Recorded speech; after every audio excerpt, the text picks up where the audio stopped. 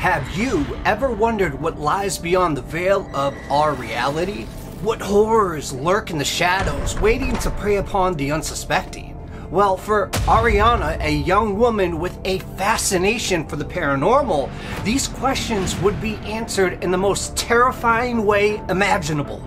Because in the heart of Kansas, a cemetery known as one of the seven gates to hell, well, Ariana would come face to face with the very demons that she had spent her life studying. But little did she know that her curiosity would unleash a nightmare beyond her wildest imaginations.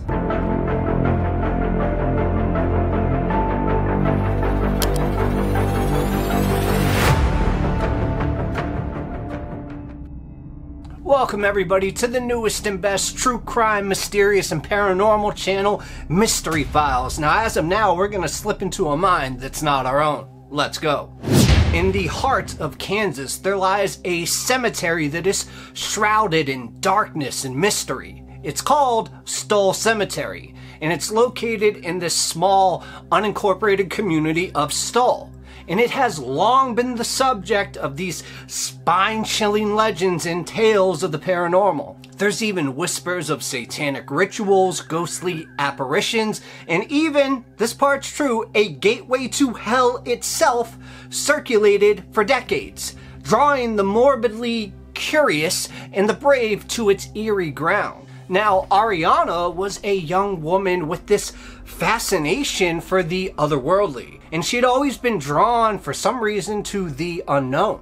I mean, you could go on her desktop computer, and the first thing that you would find right in the middle of all the folders was a folder named Demons. And it was filled with these screenshots of demons and paranormal activity, a testament to her obsession of the dark side. So, when she and her ghost hunting team found themselves in Kansas City, they knew they had to visit the notorious Stull Cemetery. Like I said, it's one of Earth's seven gates of hell. And yes, this is literally called a gate to hell. I mean, they did this because the night before they had explored this haunted castle, but kind of left them, you know, still itching and unsatisfied. The scares were too predictable and the atmosphere was not nearly as oppressive as they had hoped for.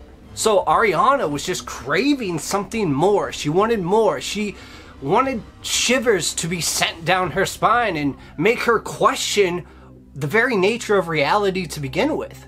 So as they drove through the pitch black darkness, the anticipation grew with every mile. Ariana had heard the stories before. I mean, this is true, the Pope himself refuses to fly over Stull Cemetery. Such was the power of the evil that allegedly resided there. So at this point, the car was kind of filled with this, you know, nervous laughter and this nervous energy, and Ariana's heart started to race as they got closer to their destination. But all of a sudden, a sickening feeling just washed over her. It was a sensation unlike anything that she had ever experienced before. It was a suffocating negativity that seemed to permeate in that very air that was around them.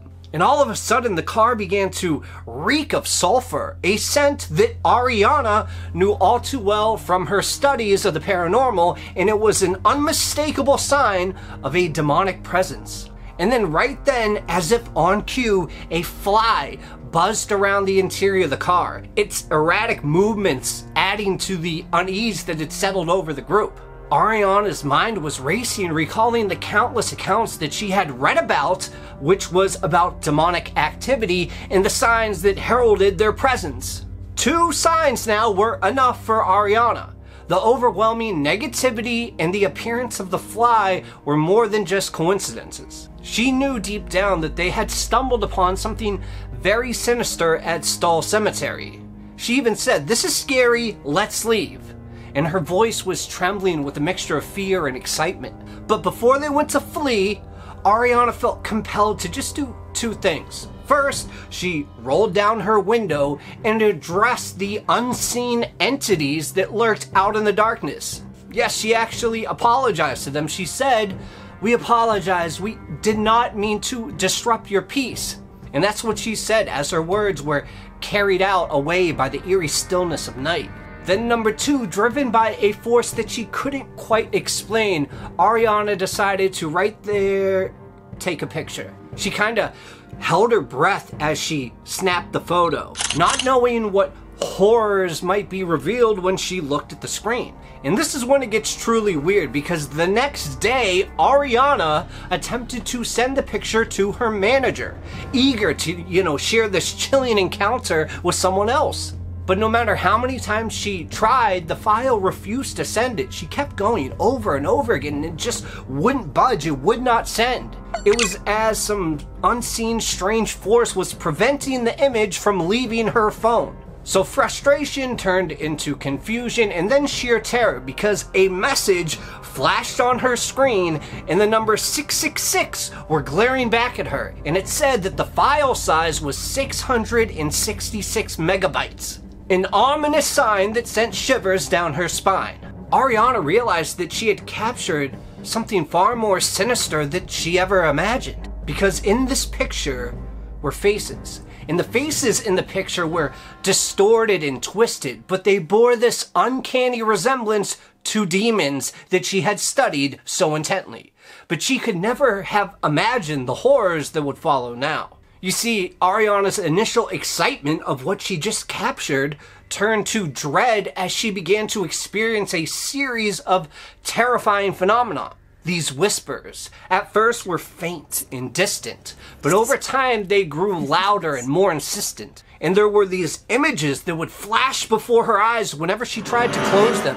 And it became more vivid and disturbing, filled with these hellish red shapes that seemed to pulsate this malevolent energy. And for her, sleep became a distant memory as this malevolent presence followed her wherever she went. And all the time, the very air just around her felt very thick and oppressive, as if these demons she had unwittingly summoned were closing in, ready to almost claim her soul.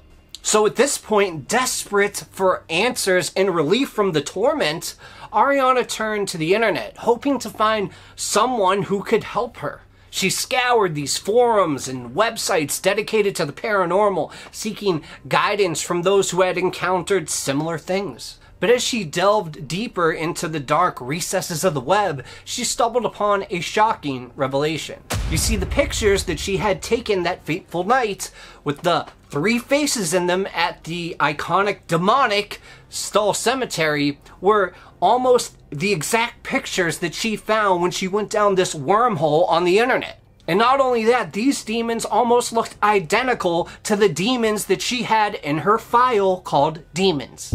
Now, she truly doesn't know if the file that said 666 megabytes finally sent to her manager or not. But in hopes of getting rid of all these weird and strange things that were starting to happen to her, she decided at that moment, as cool as it was to have this actual proof, she decided to delete the picture. And she was hoping that by doing this, everything that she was experiencing would just stop. But it didn't work because two weeks later, she said as soon as she closed her eyes, she heard this really loud rumble that was right by her head. And she said whenever she opened her eyes, it would stop immediately. But then when she closed her eyes, it started again with the whispers. And every time that she closed her eyes, she started seeing these really disturbing images with, like I said before, these weird red demonic shapes. And at this very moment, she decided to open her eyes and she got on the phone. And when she got on the phone, all she could say is, I'm really scared and I don't want to go to bed. The person tried to calm her down, but to really no avail. But she decided in the end to kind of scooch over on her bed to the left side because she said that's where the best service was in her room. And there was this massive black matter. She had absolutely no idea what it was. She said that it was like something like a black cloud that was right next to her. She started crying and she was on the phone screaming, What do I do? What do I do? And they said, Tell it to F off. And that's when she said, I'm not going to do that. It's going to get upset. So I'm just going to chill and not feed into it because all it wants is my fear. It feeds on fear. She's talking in her head and talking on the phone at this point, trying to convince herself what to do. She actually then watched this black mass move to the front of her bed and she was so scared that she accidentally actually fell asleep on the phone. And when she woke up, it was gone. But the very next night, her friend Tyler was staying with her. And she said she was trying to sleep and her body felt paralyzed almost. And she described the exact same thing that Ariana saw. And at this point, millions of people are curious about what happened. And if you're asking yourself how millions of people could be asking about what happened, well, this is because Ariana in this story is no ordinary person. You see, she's actually this massive, huge, global superstar with this massive following on social media. Her every move is scrutinized, her every post is dissected by legions of devoted fans. Yes, this Ariana was none other than Ariana Grande. Remember, even the most popular or fortunate among us are not immune from the dark side of this world that we don't really have that many answers to. But for Ariana Grande, this encounter at Stull Cemetery would forever change her life.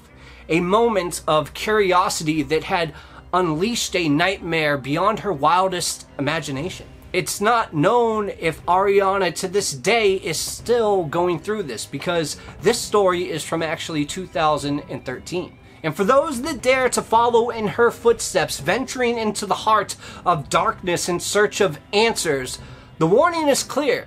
Be careful what you wish for, because you just might get it. And like I said, you don't have to take my word on any of this. You can just ask Ariana Grande herself or read her Cosmopolitan interview from 2013. Now, I had no idea that Ariana Grande was such a huge fan of the paranormal. So, Ariana, on the slim chance that you see this, I would love for you to come on the show and you can be the Miss Files to the Mystery Files. What do you say? But for those of you that want to watch a similar story or one you might even like a little better than this one, YouTube has cooked you up something real good. So make sure to click right here. For the rest of you guys, I'll see you next time. Cheers.